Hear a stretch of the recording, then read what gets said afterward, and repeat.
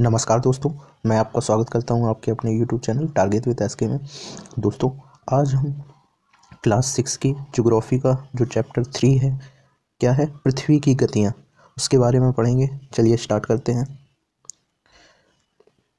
जैसा कि आप जानते हैं कि पृथ्वी की गति दो प्रकार की होती है। पहली घूर्णन एवं दूसरी क्या है? परिक्रमण। घूर्णन मतलब क्या होता है? रोटेशन रोटेशन ठीक है? रोटेशन।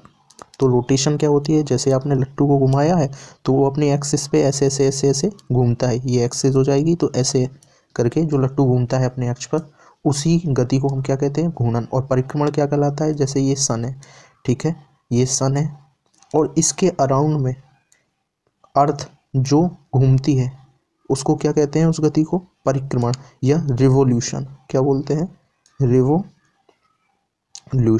रिवोल्यूशन ठीक है? तो उसको बोलते हैं रिवोल्यूशन तो फ़र्स्ट वाली जो गति है, वो घूर्णन की और दूसरी क्या है? परिक्रमण तो पृथ्वी की कितने प्रकार की गतियाँ हैं? दो प्रकार की. तो पृथ्वी का अपने अक्ष पर घूमना घूर्णन कहलाता है. तो जैसे ये वाला जो अक्ष है, ये हम लोगों ने क्या माना हुआ है? एक इमेजनरी अक्ष है हमारा. उसी के अराउंड अगर घूमता है, अक्ष के अराउंड तो वो कौन सी गति होती है? घूर्णन. और सूर्य के चारों ओर एक स्थिर कक्षा में पृथ्वी की गति को क्या कहते हैं? परिक्रमण कहते हैं. ठीक है? आगे देखते हैं।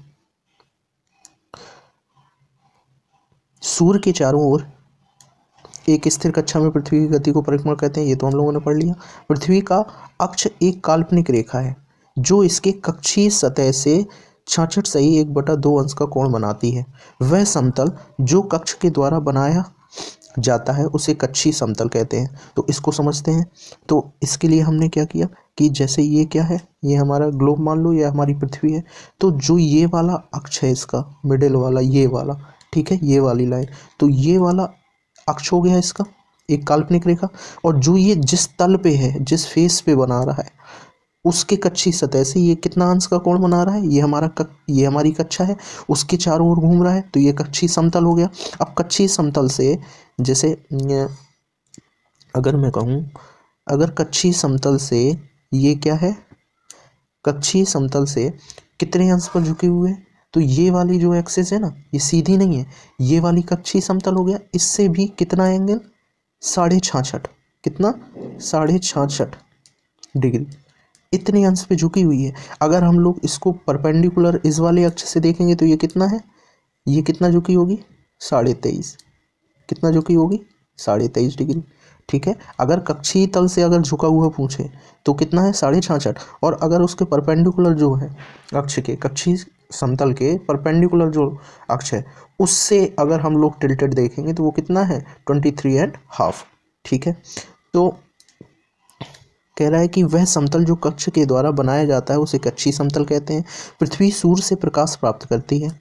पृथ्वी का आकार गोल के समान है, इसलिए एक समय में सिर्फ़ इसके आधे भाग पर ही सूर्य की रोशनी प्राप्त होती है। जैसे ये हमारी अगर पृथ्वी है, और अगर यहाँ पे हमारा सूर्य है, ये है सूर्य, ये है हमारी पृथ्वी तो जो लाइट पड़ेगी, वो इस वाले भाग पर ही पड़ेगी जो इसके सामने होगा, एक बार में एक ही भाग पे पड़ पाएगी। तो यहाँ पे क्या हो जाएगा? यहाँ दिन हो जाएगा और यहाँ जहाँ पे प्रकाश नहीं पड़ पा रहा है, वहाँ पे हमारी रात हो जाएगी। ठीक।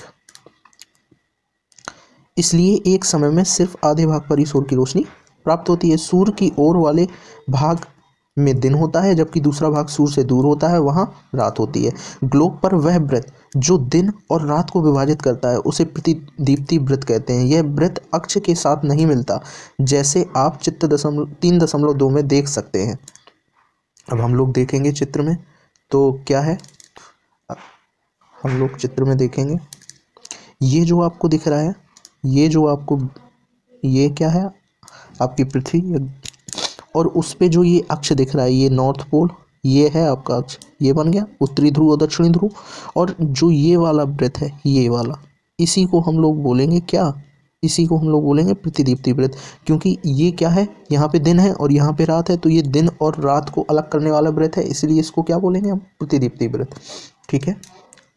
इसको क्या बोलेंगे? प्रतिदीप्ति व्रत यह वृत्त अक्ष के साथ नहीं मिलता। हमने देखा कि ये वाला अक्ष के साथ नहीं मिलता है। ये ये अक्ष हो गई हमारी, ये अलग ही अपना है, इस अक्ष के साथ तो नहीं मिल रहा है, ठीक है? अक्ष के साथ नहीं मिलता, जैसा कि आप चित्र तीन दशमलव दो में देख सकते हैं। पृथ्वी अपने अक्ष पर एक चक्कर पूरा करने में चौबीस घंटे का समय लेती है। घूर्णन के समय काल को पृथ्वी दिन कहा जाता है। यह पृथ्वी की दैनिक गति है। कैसी गति है? दैनिक गति है। इसका मतलब क्या हुआ कि पृथ्वी पर जो दिन रात होते हैं ना, वो किस गति के कारण होते हैं? वो घूर्णन गति के कारण होते हैं। जो पृथ्वी जो है, वो अपने अक्ष पर घूमती है। तो अपने अक्ष पर जो घूमती है, उसी गति के कारण पृथ्वी पर दिन और रात होते हैं। ठीक है? और जो मैंने आपको बताया था, वो कच्ची समतल वाला, वो देखिए, ये फिगर बना हुआ है कि यहाँ पे देखो, ये ये वाला जो दी है पृथ्वी के, इसको और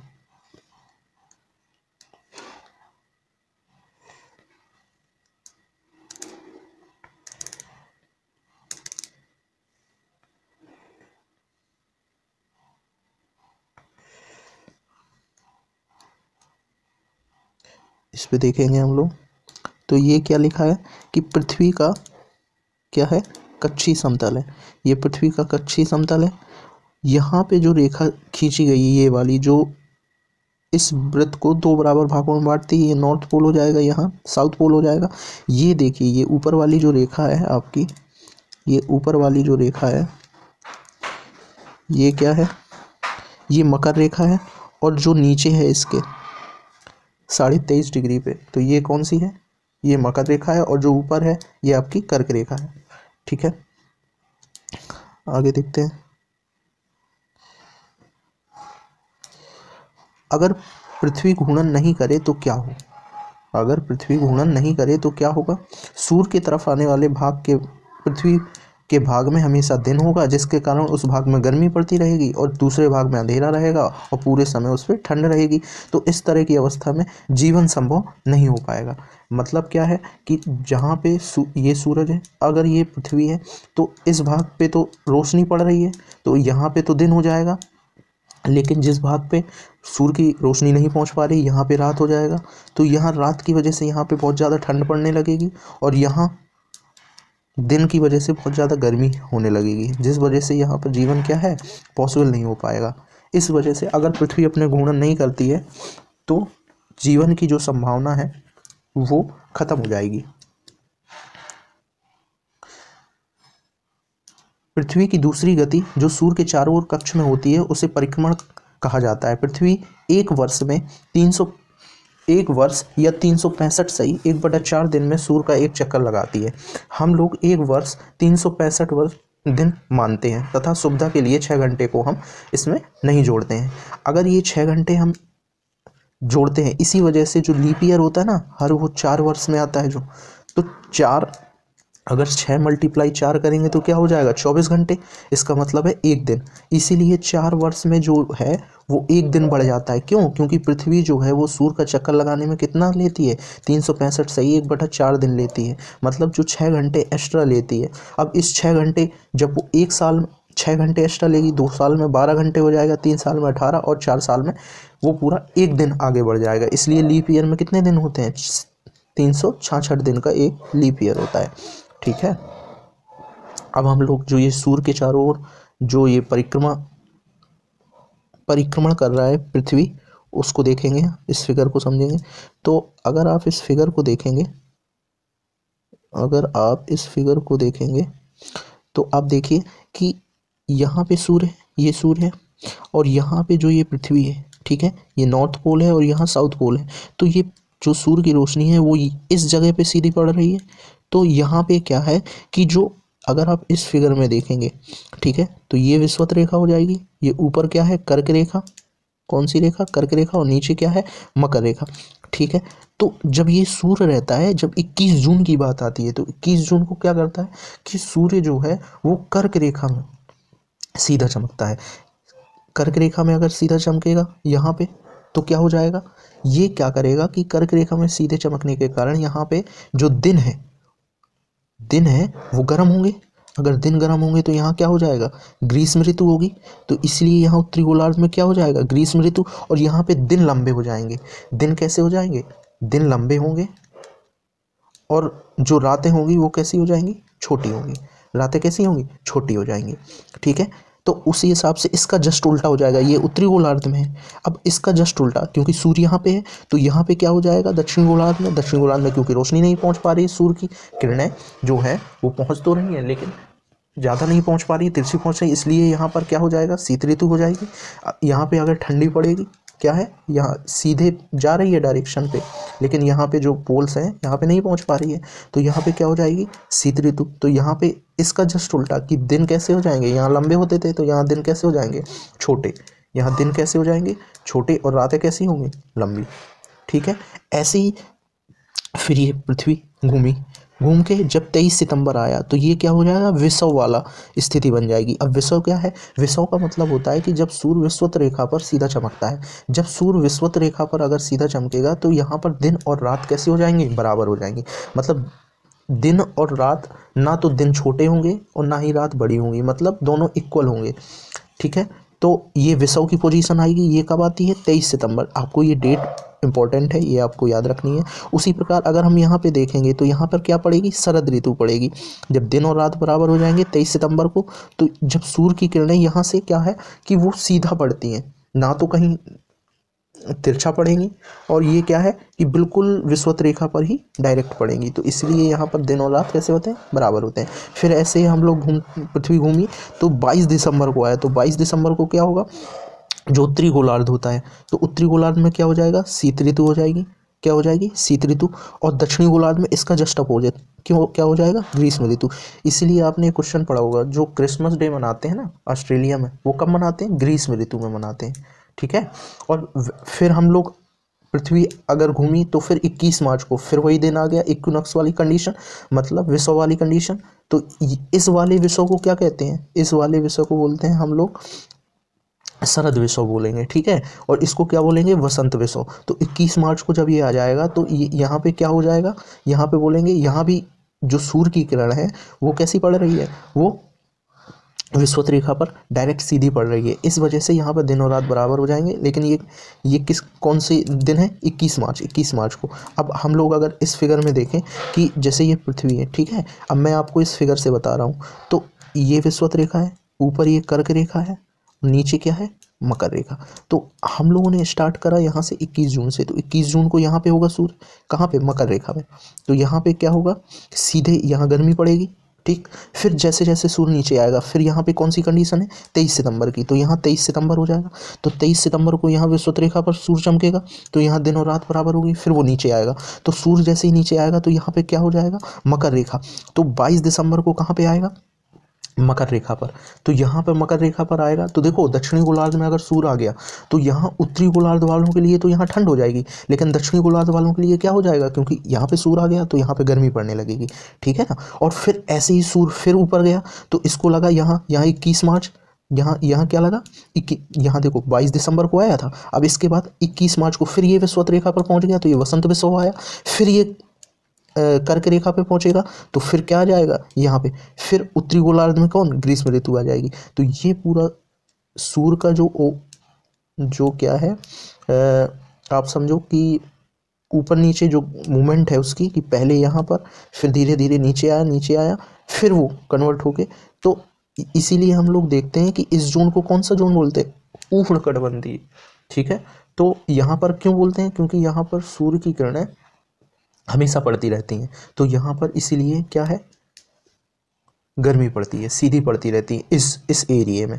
कभी मकर रेखा पे आएगा, कभी विश्वत रेखा पे आएगा तो कभी सॉरी कभी कर्क रेखा पर आएगा तो कभी विश्वत रेखा पर और कभी मकर रेखा पर आएगा। ठीक है? आगे देखें। तो चार वर्षों में, प्रत्येक वर्ष में बचे हुए छः घंटे मिलाकर एक दिन यानी चौबीस घंटे के बराबर होते हैं, जैसा मैंने आपको बताया। इसके अतिरिक्त दिन को फरवरी के महीने में जोड़ा जाता है। इस प्रकार चौथे वर्ष फरवरी, माह अट्ठाईस के बदले उनतीस दिन का होता है। ऐसा वर्ष जिसमें तीन दिन होते हैं, इसे लीफ वर्ष कहा जाता है। पता लगाइए कि अगला लीफ वर्ष कब होगा। चित्र तीन दशमलव तीन से स्पष्ट है कि पृथ्वी दीर्घवृत्ताकार पथ पर सूर्य के चारों ओर चक्कर लगाती है। तो जो ये वाला मैंने फिगर दिखाया था, तीन दशमलव तीन तो सूर्य के चारों ओर कैसे चक्कर लगा रही है पृथ्वी? आपने देखा कि ये जो है, ये ऐसे पथ पर, ऐसे पथ पर चक्कर लगा रही है। तो ये क्या है? दीर्घ वृत्ताकार इलेप्टिकल पाथ है, ठीक है? इस पाथ पे जो पृथ्वी है, वो सूर्य का चक्कर लगा रही है। ध्यान दीजिए कि पृथ्वी पूरे कक्ष में एक ही दिशा में झुकी हुई है। सामान्यतः एक वर्ष को गर्मी, सर्दी, बसंत और शरद ऋतुओं में बांटा गया है। तो अगर आपसे ऋतुएँ पूछें तो कितने, एक वर्ष में कितनी ऋतुएँ होती हैं? गर्मी, फिर सर्दी, फिर बसंत और तीसरा शरद। ठीक है, चौथा शरद इन ऋतुओं में बांटा गया है।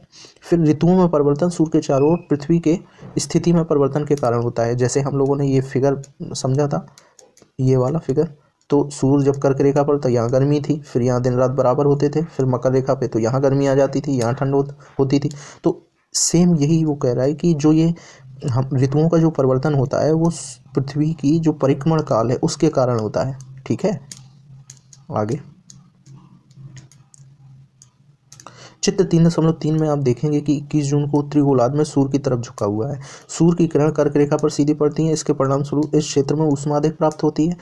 ध्रुवों के पास वाले क्षेत्र में कम ऊष्मा प्राप्त होती है, क्योंकि वहाँ सूर्य की किरणें तिरछी पड़ती हैं। उत्तरी ध्रुव पर सूर्य की सूर्य की तरफ़ झुका हुआ तथा उत्तरी ध्रुव रेखा के बाद वाले भागों पर छः महीने तक लगातार दिन रहता है। उत्तरी गोलार्ध के बहुत बड़े भाग में सूर्य की रोशनी प्राप्त होती है तथा इसलिए विश्वत वृत्त के उत्तरी भाग में गर्मी का मौसम तथा 21 जून को क्षेत्र में सबसे लंबा दिन और सबसे छोटी रात होती है। पृथ्वी की इस अवस्था को उत्तरी अनांत बोलते हैं। तो उत्तरी अनांत किसको बोलते हैं? कि जब पृथ्वी इक्कीस जून को सबसे लंबा दिन हो जाता है। क्या है? इक्कीस जून को जब सबसे लंबा दिन और सबसे छोटी रात होती है तो इस पोजीशन को ही हम लोग उत्तरी अनांत बोलते हैं। ठीक है? क्या बोलते हैं? उत्तरी अनांत। और 22 दिसंबर को 22 दिसंबर को दक्षिणी ध्रुव सूर्य के सूर्य की ओर झुके होने के कारण मकर रेखा पर सूर्य की किरणें पड़ती हैं। चूँकि सूर्य की किरणें मकर रेखा पर लंबत पड़ती हैं, इसलिए दक्षिण गोलार्ध में बहुत बड़े भाग में प्रकाश होता है। इसलिए दक्षिण गोलार्ध में लंबे दिन तथा छोटी रातों वाली ग्रीष्म ऋतु होती है। इसके ठीक विपरीत स्थिति उत्तरी गोलार्ध में होती है। पृथ्वी की इस अवस्था को दक्षिणी अनांत बोलते हैं। तो दक्षिणी अनांत क्या बोलते हैं? कि जब मकर रेखा पर सूर्य चमकेगा, क्या है? जब मकर रेखा पर सूर्य चमकेगा तो यहाँ पर दिन बड़े हो जाएँगे और रातें कैसी हो जाएँगी? छोटी हो जाएँगी। दिन बड़े, कहाँ पे? दक्षिणी गोलार्ध में लंबे दिन और छोटी रातों वाली, यहाँ पे क्या हो जाएगी? ग्रीष्म ऋतु हो जाएगी, ठीक है ना? तो इसके ठीक विपरीत स्थिति, उत्तरी गोलार्ध में तो जब सूर्य यहाँ है तो इसका ठीक विपरीत होगा, यहाँ पे तो यहाँ ठंड पड़ेगी ठंड पड़ेगी तो यहाँ पे क्या हो जाएँगे? कि जो दिन है, वो छोटे होने लगेंगे और रात लंबी होने लगेगी तो पृथ्वी की इस अवस्था को क्या बोलते हैं? दक्षिणी अनांत बोलते हैं, ठीक है? क्या आप जानते हैं कि ऑस्ट्रेलिया में ग्रीष्म ऋतु में क्रिसमस पर्व को मनाया जाता है? मैंने आपको बताया। तो इक्कीस मार्च और तेईस सितंबर को सूर्य की किरणें विश्वत वृत्त पर पड़ती हैं। इस अवस्था में कोई भी ध्रुव सूर्य की ओर नहीं झुका रहता, इसलिए पूरी पृथ्वी पर रात व दिन बराबर होते हैं, इसे विश्व कहा जाता है। तो जब पृथ्वी, जब सूर्य की किरणें विश्व रेखा पर सीधी पड़ती हैं तो वहाँ दिन और रात क्या होते हैं? बराबर होते हैं। इस स्थिति को क्या कहते हैं? विश्व की स्थिति बोलते हैं। तेईस सितंबर को त्रिगोलार्ध में शरद ऋतु होती है, जबकि दक्षिणी गोलार्ध में बसंत ऋतु होती है। इक्कीस मार्च को इस, इसके विपरीत, जबकि उत्तरी गोलार्ध में बसंत ऋतु और दक्षिणी गोलार्ध में शरद ऋतु होती है। इस प्रकार स्पष्ट है कि पृथ्वी के घूर्णन एवं परिक्रमण के कारण दिन और रात ऋतुओं में परिवर्तन होता है। चलिए हम एक्सरसाइज को और देख लेते हैं। तो पहला जो क्वेश्चन है, उसका आंसर क्या है? पृथ्वी के अक्ष का झुकाव कौन है? तो पृथ्वी अपने अक्ष पर अगर कक्षी तल पे देखा जाए तो कितना झुकी हुई है?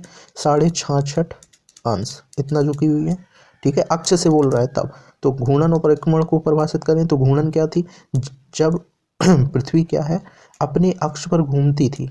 तो जिसके कारण क्या होते थे? दिन रात होते थे। तो वही गति जिसके कारण क्या होते हैं? दिन रात होते हैं। तो उसको हम क्या कहते हैं? घूर्णन। और जिस गति के कारण क्या होते हैं? ऋतुओं में परिवर्तन होता है। तो उस गति को क्या कहते हैं? परिक्रमण। ठीक है? तो लीप वर्ष क्या है? लीप वर्ष लीप वर्ष वह है क्योंकि पृथ्वी जो है, वो सूर्य जो पृथ्वी है, वो सूर्य का एक चक्कर लगाने में कितना दिन लेती है? तीन सौ पैंसठ सही एक बटा चार दिन। तो ऐसे ही इसका मतलब है छः घंटे एक्स्ट्रा लेती है। क्या लेती है? छः घंटे एक्स्ट्रा लेती है। तो जब एक साल में छः घंटे लेगी, दो साल में बारह घंटे, ऐसे ही चार साल में क्या करेगी? एक दिन बढ़ जाएगा।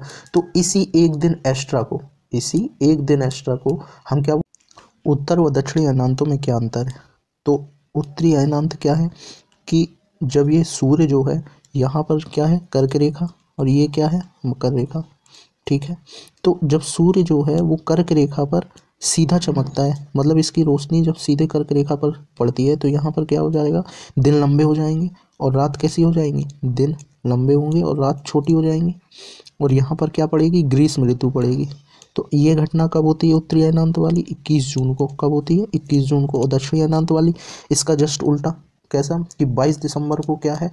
22 दिसंबर को जो सूर्य की किरणें हैं, वो मकर रेखा पर सीधी पड़ती है तो यहाँ पर क्या हो जाएगी? ग्रीष्म ऋतु होगी, दिन बड़े हो जाएँगे और रात छोटी होगी। रात कैसी हो जाएँगी? छोटी होगी। और इसका जस्ट उल्टा दिसंबर में कर्क रेखा में होगा। कैसा? कि यहाँ पर सर्दी पड़ेगी। यहाँ पर सर्दी पड़ेगी, दिन छोटे और रात लंबी हो जाएँगी। ठीक है? इन्हीं घटनाओं को हम क्या कहते हैं? उत्तर और दक्षिणायनांत कहते हैं। अब विषव की क्या पोजीशन है? विषव जब जब सूर्य की किरणें जो है, वो विश्वत रेखा पर सीधी चमकती हैं। इस कारण से यहाँ पर दिन और रात कैसे होते हैं? बराबर लंबाई के होते हैं। उसी घटना को हम क्या कहते हैं? विषव कहते हैं। तो ये दो घटनाएँ कब होती हैं? एक तो होती है इक्कीस मार्च को, एक घटना होती है इक्कीस मार्च को, जिसको हम वसंत विश्व बोलते हैं। क्या बोलते हैं? वसंत विश्व।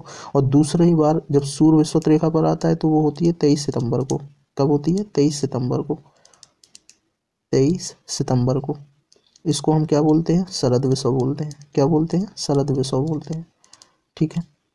अब क्वेश्चन क्या कह रहा है? दक्षिणी गोलार्ध में उत्तरी गोलार्ध की अपेक्षा उत्तर और दक्षिणी का अयनांत अलग अलग समय में होता है। क्यों? तो इसको हम फिगर में देखेंगे। जो हमने पहले फिगर पढ़ा हुआ था, ये वाला फिगर तो यहाँ पे हम लोगों ने देखा कि जो ये उत्तरी अयनांत था ठीक है? तो यहाँ पे हमने देखा कि जो पृथ्वी है, वो अपने अक्ष पर टिल्टेड है, ये वाला। तो जब सूर्य की रोशनी है तो यहाँ पे अगर हम देखेंगे तो नॉर्थ पोल पर पड़ रही है, ठीक है? और यहाँ पे जो साउथ पोल है, यहाँ पर लाइट नहीं पहुँच पा रही है तो यहाँ पर जो नॉर्थ पोल है, यहाँ पे जो पड़ रही है तो यहाँ पे क्या हो जाएगा? दिन हो जाएँगे, लेकिन यहाँ क्या होगी? रात होगी। ऐसे ही हम लोग अगर देखेंगे इसको, जब ये वाली घटना होती है, कब दक्षिणी अयनांत की तो यहाँ बाईस दिसंबर में यहाँ पर क्या होता है? देखो ऊपर हमने देखा तो यहाँ पर जो ऊपर वाला है, जो सूर्य की रोशनी है, वो नॉर्थ पोल पर नहीं पहुँच पा रही, उत्तरी गोलार्ध में तो यहाँ पर क्या हो जाएगी? रात होगी। और जहाँ पर यहाँ पर हमने देखा, दक्षिणी गोलार्ध में यहाँ सूर्य की रोशनी पहुँच रही है तो यहाँ दिन हो जाएगा। तो यही हम लोगों हम लोगों को देखना था कि इसी टिल्टेड की वजह से ये क्या है, दक्षिण अयनांत अलग अलग समय में होता है। उत्तर और दक्षिण का जो अयनांत होते हैं ना, वो अलग अलग समय में क्यों होते हैं? क्योंकि पृथ्वी जो है अपने अक्ष पर झुकी हुई है। अब सेम ऐसे ही इसका है कि ध्रुवों पर लगभग छः महीने का दिन और छः महीने की रात होती है। क्यों? तो ध्रुवों पर छः महीने की रात और छः महीने की दिन इसलिए होते हैं क्योंकि यही फिगर है सेम टू सेम मैं, यहाँ पे अगर आप देखेंगे तो उत्तरी अयनांत जहाँ पर नॉर्थ पोल पे देखो, दिन ही है। लेकिन इसको इस पोजीशन से, इस पोजीशन तक आने में कितने दिन लग गए? छः महीने का टाइम लग गया। यहाँ जून से दिसंबर तक आने में इसको कितना लग गया? छः महीने का टाइम लग गया। तो इसी वजह से हम लोग कहते हैं कि जो ध्रुवों पर है, वो छः महीने का दिन और छः महीने की रात होती है, क्योंकि यहाँ पर जो है सूर्य का जो लाइट है, वो उत्तरी ध्रुव पर पहुँच रहा है तो दिन हो जाएगा। लेकिन ये कब और दक्षिणी दक्षिणी ध्रुव पर सूर्य की रोशनी नहीं पहुँच पा रही है तो यहाँ रात हो जाएगी। तो ये पोजीशन चेंज होने में कितना टाइम लग जाएगा? इसको छः महीने का टाइम लग जाएगा। ठीक है? इस वजह से हम इसको कहते हैं कि ध्रुवों पर छः महीने का दिन और छः महीने की रात होती है। अब हम देखेंगे कि पृथ्वी की सूर्य के चारों ओर की गति को क्या कहा जाता है? तो पृथ्वी जब सूर्य के चारों ओर चक्कर लगाती है तो उस गति को क्या कहते हैं हम लोग? रेवोल्यूशन जिसको हम परिक्रमण कहते हैं। सूर्य की सीधी किरण विश्वत व्रत पर किस दिन पड़ती है? तो दो दिन पड़ती थी। कौन कौन था? एक तो था इक्कीस मार्च और तेईस सितंबर। तो इक्कीस मार्च, ये वाला हमारा सही आंसर हो जाएगा। तो गर्मी में क्रिसमस का पर्व कहाँ मनता है? तो अगर हम लोग देखें तो गर्मियों में क्रिसमस का पर्व कम, कहाँ मनेगा ऑस्ट्रेलिया में। क्यों? क्योंकि यहाँ पर जो है, जब पृथ्वी मकर रेखा पर सीधा चमकेगा और ये घटना थी 22 दिसंबर की तो यहाँ पर क्या हो जाएगा? मकर रेखा में जब सूर्य चमकेगा तो यहाँ पर गर्मी का मौसम हो जाएगा। तो ये पोजीशन किसकी होती है? ऑस्ट्रेलिया की। ठीक है? ऑस्ट्रेलिया। ऋतुओं में परिवर्तन पृथ्वी की किस गति के कारण होता है? तो अगर ऋतुओं में भी परिवर्तन देखें हम लोग तो किस गति के कारण होगा? रेवोल्यूशन के कारण ही होगा। जब पृथ्वी सूर्य के चारों ओर ऐसे ऐसे चक्कर लगाती है टिल्टेड ठीक है? तो जहाँ रोशनी पहुँच जाएगी, वहाँ तो गर्मी पड़ने लगेगी, ठीक है? और जहाँ नहीं पहुँचेगी, वहाँ सर्दी पड़ेगी। एक लीफ वर्ष में दिनों की संख्या कितनी होती है? तो दिनों की संख्या कितनी होती है? तीन सौ छाछठ दिन होते हैं लीप ईयर में। पृथ्वी की प्रतिदिन की गति को कौन सी गति कहते हैं? तो ये रोटेशनल होती है, प्रतिदिन की गति को घूर्णन गति या इसी को हम लोग इंग्लिश में रोटेशन बोलते हैं। पृथ्वी सूर्य के चारों ओर कक्षा में घूमती है। तो किस पात पर घूमती है? मैंने बताया था, ये इलेप्टिकल इलेप्टिकल मतलब दीर्घ वृत्ताकार कक्षा में घूमती है दीर्घ वृत्ताकार कक्षा में। सॉरी इक्कीस जून को सूर्य की किरणें सीधी पड़ती हैं। तो 21 जून को कहाँ पे सीधी पड़ती हैं? 21 जून को मैंने बताया था, ये कर्क रेखा पर सीधी पड़ती हैं। किस पे पड़ती हैं? कर्क रेखा पर। ऋतु में छोटे दिन होते हैं। तो कब छोटे दिन होते हैं? विंटर सीज़न में ना, सर्दी के मौसम में। सर्दी के मौसम में, ऋतु में दिन कैसे होते हैं? छोटे होते हैं। दोस्तों, अगर आपको मेरा वीडियो अच्छा लगा हो तो इसे लाइक और सब्सक्राइब ज़रूर करें।